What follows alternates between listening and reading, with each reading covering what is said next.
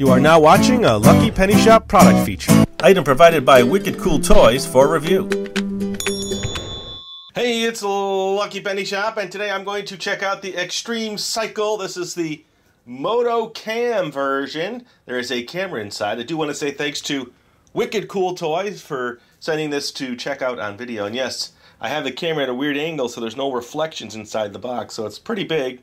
There is my hand. It's probably three times the size as the first one we did check out, and that video will be in the description as a link.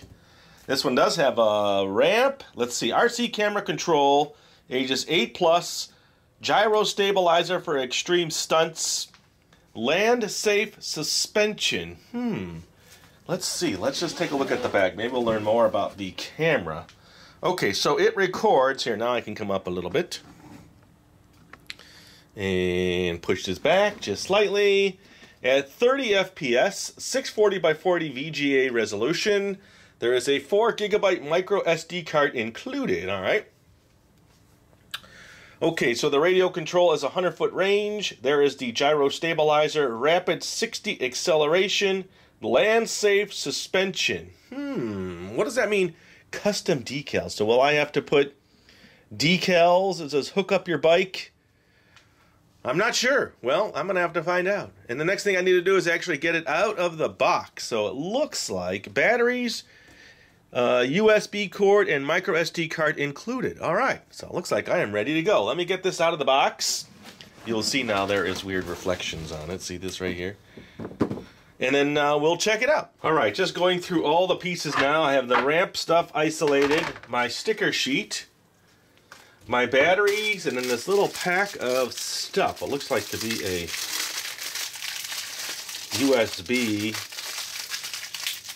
Okay. Time to get the scissors out for that. My batteries, okay. The USB cable. This looks like the little flash guard. So you can plug that right into your computer, which I will have to do. And then let's see, it said batteries go in here, so let's get the main battery pack because to charge it I'm gonna have to plug it in to a computer. So it says first step put the batteries in. So let's do that. I'm not sure. I doubt if they ship them fully charged. They might have some charge in them.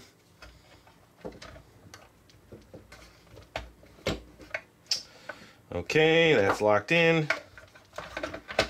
This goes back. Ooh, I wonder if it needs to go flat Okay, let's do it this way. Twist it back this way. That looks like it'll seal it, but I'm not sure. Let's see.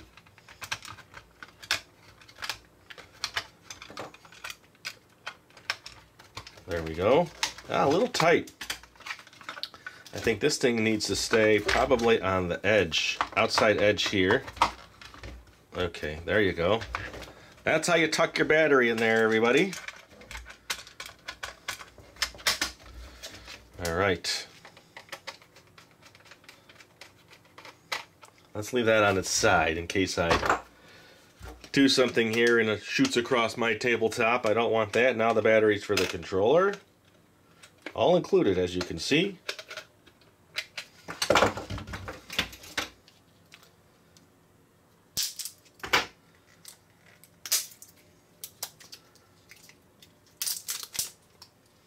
One and two double A's.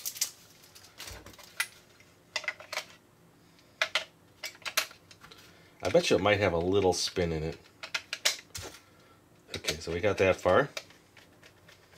Okay, that's done. Okay, so we have a light here. That flashing light usually means there is no single signal to the vehicle. Vehicle. Okay, where is your on off? You've got to be somewhere.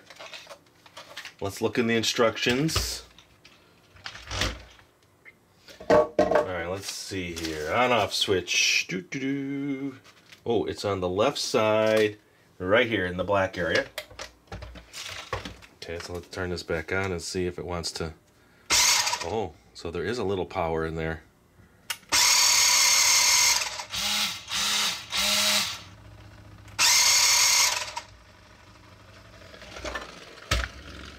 Cool. So there's a green light here. You hear it running? Here, let me hold it up. So this inner wheel is spinning right now. And that must have some kind of... Okay, ooh. I left a burn mark on my top.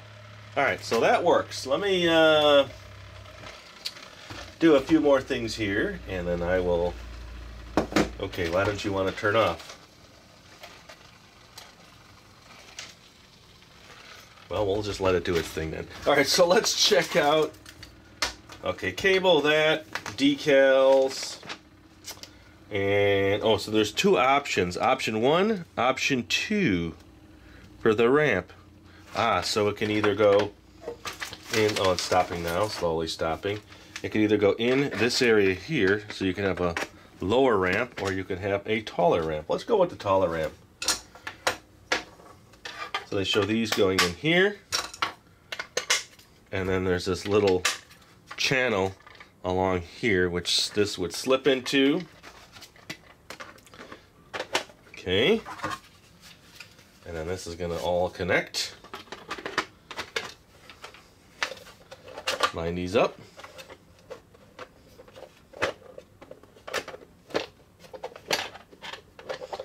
Almost there, almost there. One, two, three. Okay. There's the ramp. Now let's see, for decal placement.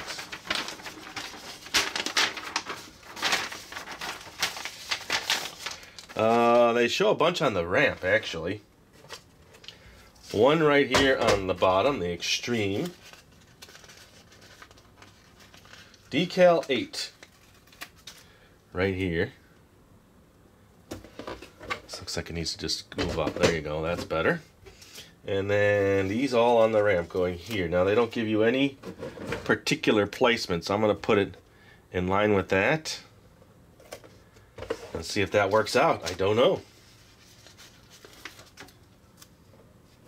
It's gonna be close.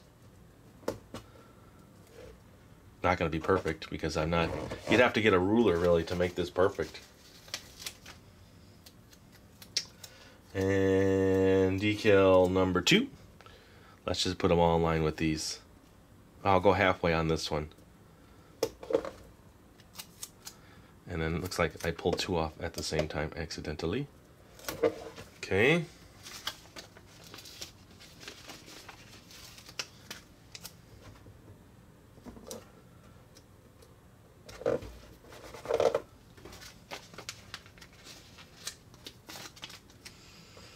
Yeah, you probably have to find the center mark and then get them all perfect on there. But I am not going to today, I guess. And then there's a, a number one going down his inside. This way. Okay. And then a number five and six. Five. That's going to be hard to get to. It looks like it's in here, like this. Okay. And then on top of that is number six. Let's see. They have it going this way. Here.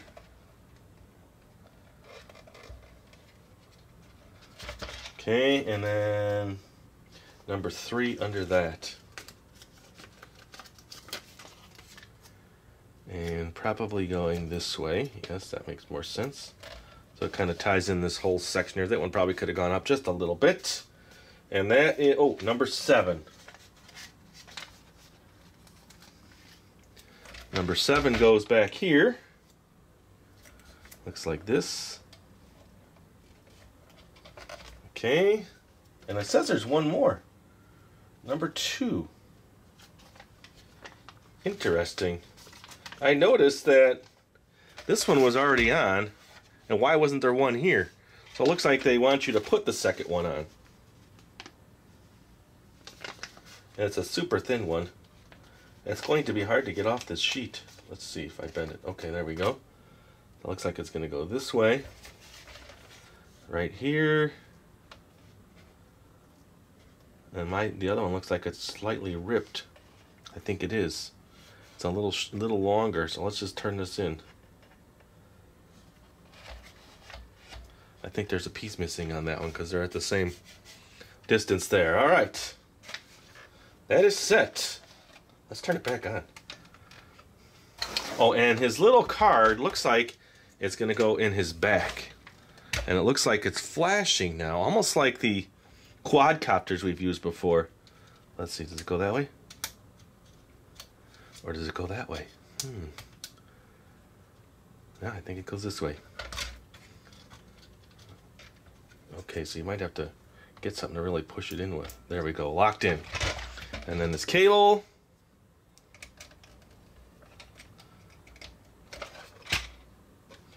Looks like it goes this way. Okay, you gotta jiggle it just a little. All right, he's ready to plug in. So let me charge him up. Then we will come back, probably outside, and test it out. All right, almost ready to go outside. It's actually the next day. It is fully charged. I did test it. That's why this is flashing right now.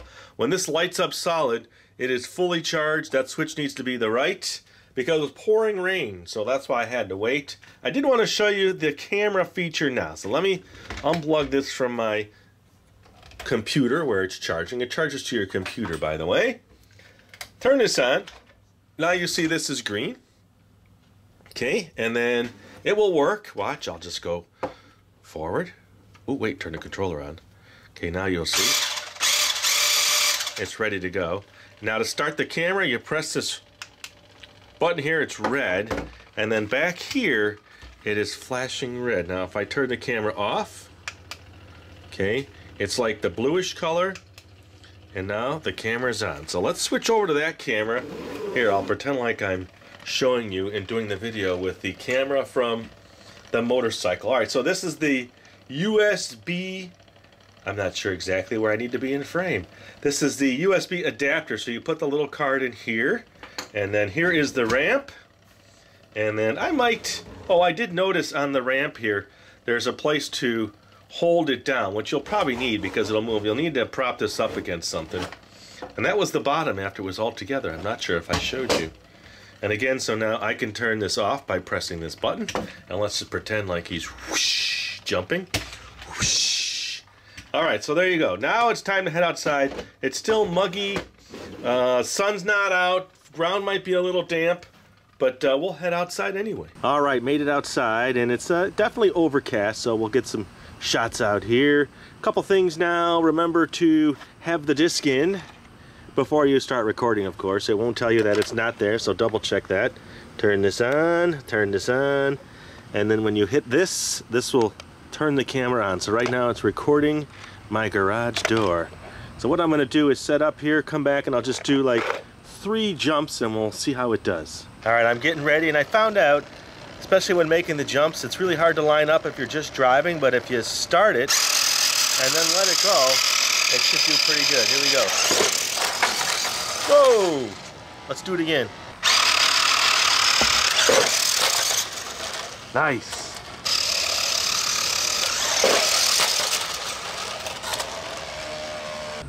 All right, one last jump now. Don't forget the actual camera on this. There's no recording of sound, so you're just going to get visual. Now, I set the ramp the other position, so there was two positions. I wanted to make sure I did that. So let's do it again.